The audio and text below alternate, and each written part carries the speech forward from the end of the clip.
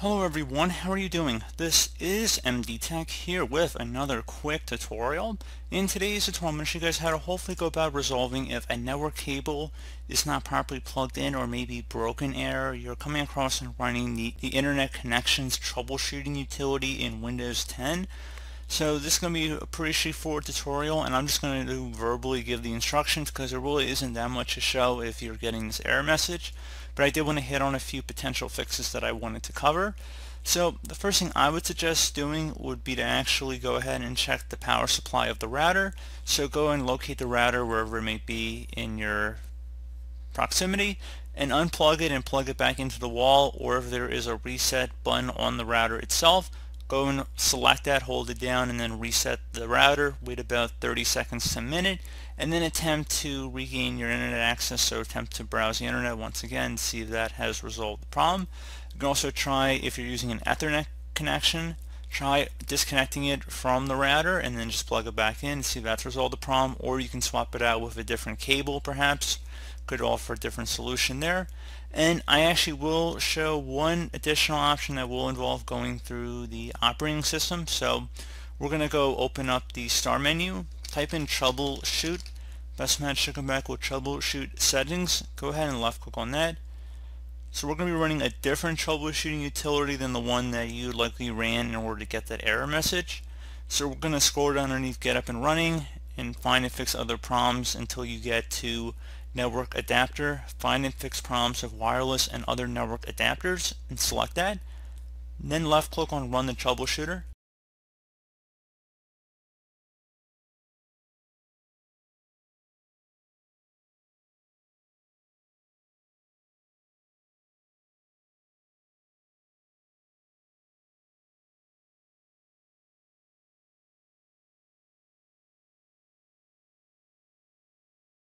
So if you were having problems, it would likely identify some issues and then I would suggest rectifying whatever it lists as potential sources of the issue.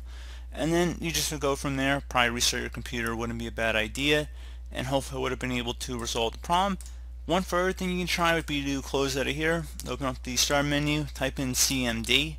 Best match should come back with command prompt, right click on it and then select run as administrator. If you are prompted with a user account control window, select yes. Now into this elevated command line window, I want you guys to type in ipconfig, exactly as it appears on my screen, space forward slash flush DNS. Flush DNS should all be one word attached to that forward slash out, front. Hit enter on keyboard.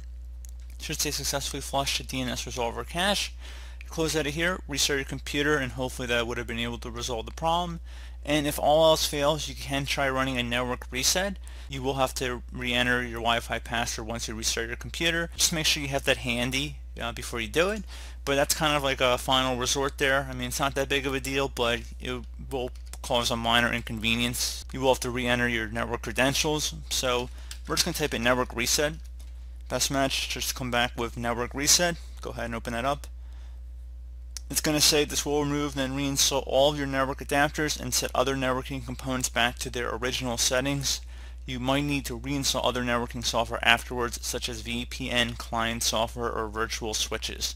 So you just select reset now. You will need to restart your computer for it to take effect and then once you restart your computer, enter back in your internet login credentials and hopefully that should have been able to resolve your problem. So as always, thank you guys for watching this brief tutorial. I do hope I was able to help you out and I do look forward to catching you all in the next tutorial. Goodbye.